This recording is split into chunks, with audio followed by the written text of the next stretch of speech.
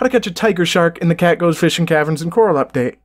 You will need yourself a large hook and no live bait, I believe is the case.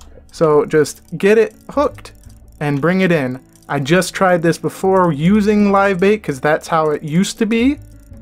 And it just took a bite out of the live bait, but I may have accidentally not had the huge hook purchased.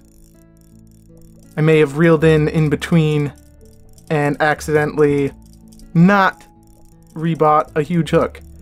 So it will put up quite a bit of a fight, so it may be worth luring it closer to the surface if you don't have the equipment necessary.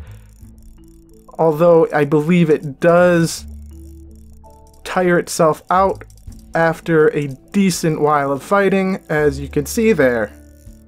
But then it gets close to the surface and puts up a fight again. But as you can see on my mini map, I am slowly making my way up with each new cycle. So this, I believe, should almost be enough. One more should do it. Just keep up the fight. I like to sort of hold when it flips and turns towards the surface and just do rapid clicks as you can probably hear between while it's swimming more downwards. And I will toss it back in just to see if live bait is useful. So let's see. Get mustard fish, let that drop down.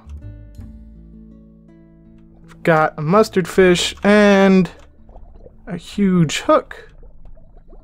So now it's just a matter of, yep, okay. So no, no bait, no live bait it is. Large bait and huge hook is what you need to catch one.